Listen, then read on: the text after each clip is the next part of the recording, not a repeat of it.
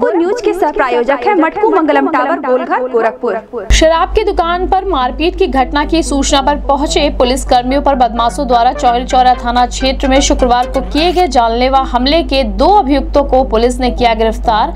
दो अभियुक्त अभी भी पुलिस की पकड़ से है दूर। एसएसपी ने कहा गिरफ़्तार अभियुक्तों पर की जाएगी राशुका के तहत कार्रवाई। फरार अभियुक्तों की गिरफ्तारी के लिए लगाई गई है चार टीमें। जल्द होंगी गिरफ्तारी। एक बार फिर पुलिस बनकर तीन उचक्कों ने की गोलघर काली मंदिर के समीप महाराजगंज के मोबाइल व्यापारी से दिन दहाड़े डेढ़ लाख की टप्पेबाजी। एसएसपी ने कहा, सीसीटीवी के माध्यम से की जा रही है बदमाशों की शिनाख्त, जल्द होगी गिरफ्तारी। दोस्त की हत्या में वांछित एक अभियुक्त को गगहा पुलिस ने किया गिरफ़्तार। एसपी साउथ अरुण कुमार सिंह ने किया घटना का खुलासा।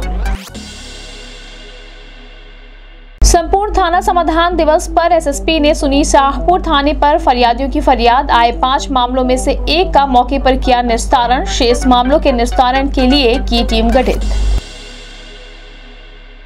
पति की लंबी उम्र के लिए 24 अक्टूबर को सुहागिन महिलाएँ निराजल रहेंगी। करवा चौथ का व्रत, सामानों से सजी बाजारें। महिलाओं ने की जमकर खरीदारी।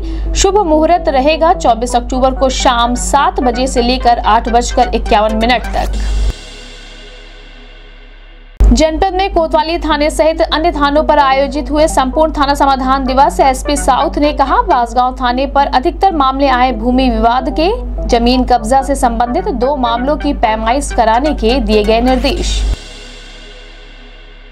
शनिवार को जिला अस्पताल सहित जनपद में 140 केंद्रों पर पंद्रह लोगों को किया गया कोविड का वैक्सीनेशन। प्रथम डोज लेने वालों में 5,144 और दूसरी डोज लेने वालों में 10,209 लोग रहे शामिल।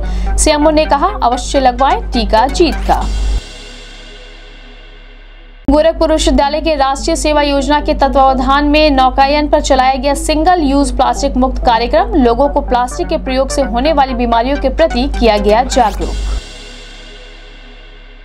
और जन जागरूकता कार्यक्रम के तहत नाट्य दल के द्वारा नुक्कड़ नाटक के माध्यम से डेंगू से बचाव की दी गई जानकारी, स्वच्छ भारत मिशन व पर्यावरण के प्रति लोगों को किया गया जागरूक।